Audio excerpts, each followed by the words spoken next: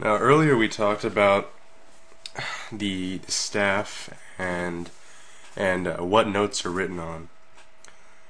And and it seemed as though that you know it's, it's just five lines. I mean, how, how do you know what's a consistent way of uh, of starting your notes? I mean, how do you know if one note is A, the other note is G? You don't you don't know where to start. But luckily, people who are much brighter than I am, they came up with uh, some markers, I guess, for for the staff, and and uh, two two common ones are are called um, the the treble and bass clef.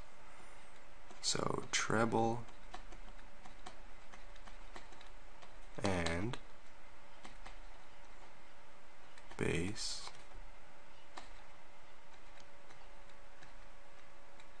clef C L E F okay and essentially a, a clef a clef is a sign placed at the beginning of the of a staff to determine the names of the notes.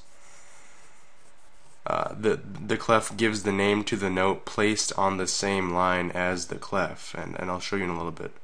But from this point on the staff, we can name all the notes above and below because we have that starting point. Um, yeah, well, let, let, me, let me write that out just uh, quickly. So it's just um, sign placed at beginning of staff to determine the names of the notes. Okay, now that we have that down. Um, well, what exactly are the names of the notes? Um, well, you you have basically the first seven letters of the alphabet, and uh, I think that's uh, pretty easy to know. Uh, let me give you the quick rundown of what those seven letters are: A, B, C, D, Q, F, G. Um, anyways, so based on their position on the staff, they can represent the entire range of musical sound. So let me show you the staff again. It's like magic. Okay, so for the first one, the treble clef, um, this is the symbol that they use, and I'll try to do my best to uh, draw it out.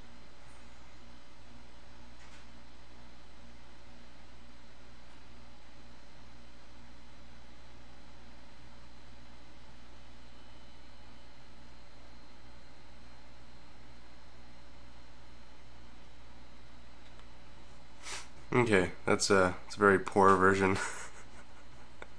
but nonetheless, um, within within this uh, this little circle here, right?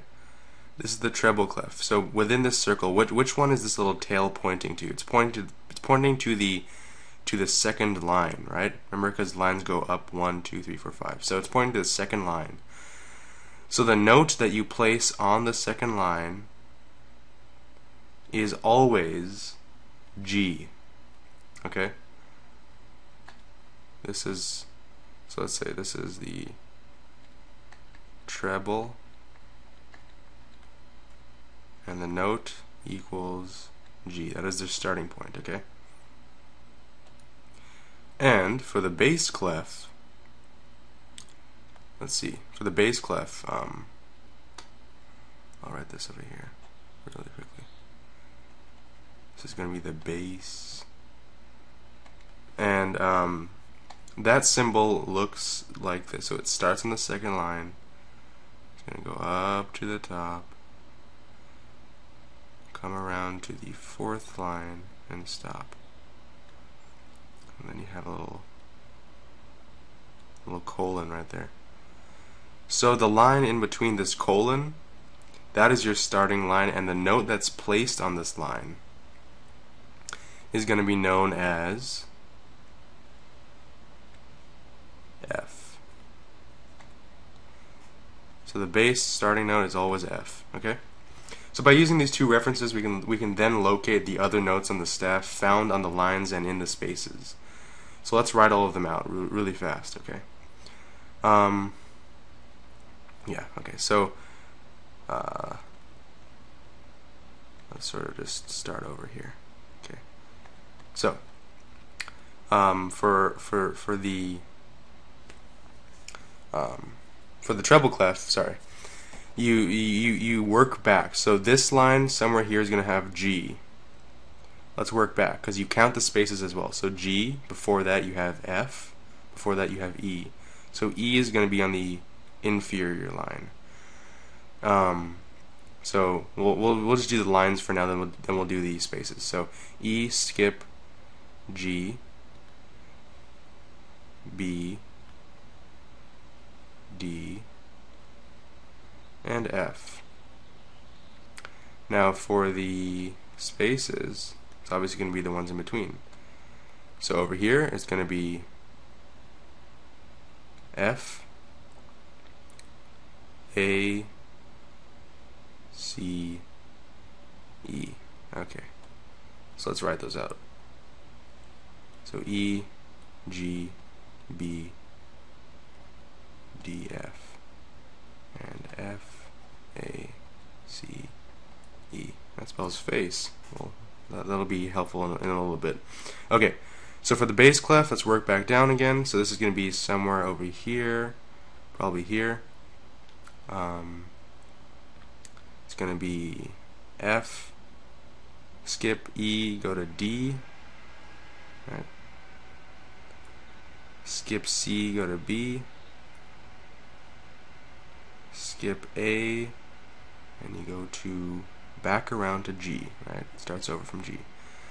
Um, so after F, skip skip G, go to A. Okay. And for the spaces, it's everything in between. And we will have A, C, E, G. Okay, let's write those out again.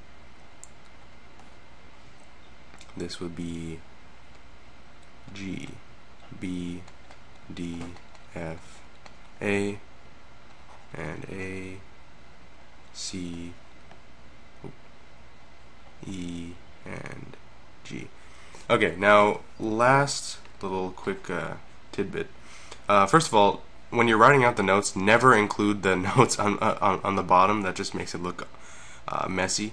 But this is just for your reference, right? So th there are some mnemonics that you can remember what the notes order on the lines for treble could be, what the note what the notes um, in order for the spaces could be for the treble. So all all uh, I guess all all four of these guys have a different mnemonics that people use over the years.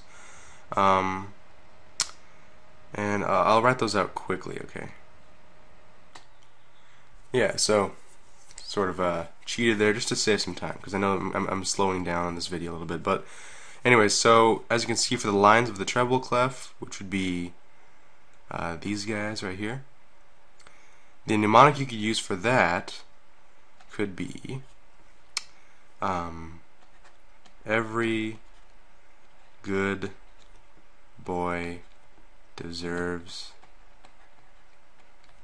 fudge. Now, personally, I hate fudge, but that's just what everybody else uh, says. uh, for the spaces of a treble clef, these guys, like I said, spells face. You can easily remember that. I guess space and face, that rhymes. Um, the lines of a bass clef, which would be these guys. Sort of just uh, reword this phrase and say, uh, good boys deserve fudge always. Not never, but always. So spaces of a bass clef, the last one's A, C, E, G. Uh, a good one to remember for that one would be all cars eat gas. Ain't that the truth? Okay, well, th thanks for watching. See you in the next video.